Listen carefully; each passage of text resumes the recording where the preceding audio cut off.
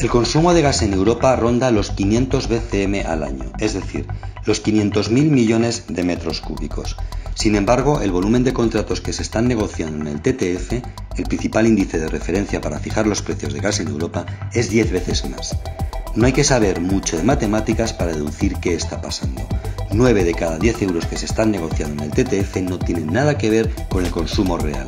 Son fruto del suflé financiero que se ha creado en torno al gas. El mercado gasista europeo es ahora lo más parecido a un mercado persa. Impera la ley del mejor postor. ¿Se acuerdan de lo que ocurrió con las mascarillas durante la pandemia? Pues es exactamente igual. La incapacidad logística e industrial de cubrir la demanda de mascarillas durante los peores meses de la pandemia provocó que se multiplicara su precio en más de 10 veces. La burbuja no paró hasta que no se intervino el mercado, fijando topes de precios o de suministro de mascarillas. Se ha culpado a Putin de provocar la escalada de precios del gas. Es cierto que Putin fue el que inició la escalada, pero el mercado es un juego de suma cero.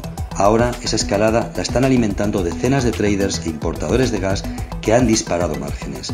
Ya se sabe el dicho, a río revuelto, ganancia de pescadores.